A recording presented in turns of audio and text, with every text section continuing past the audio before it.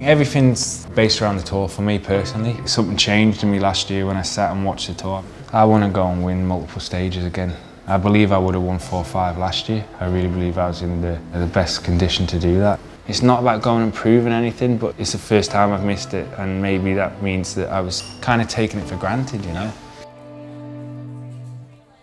We're actually really excited about the first nine stages, especially this year. The first stages are in the Netherlands, they're in Belgium, they go across the north of France, so you've got a combination of wind, you've got maybe bad weather, you've got cobblestones, you've got small roads, you've got small punchy climbs, and that suits Etixx Quick-Step down the ground.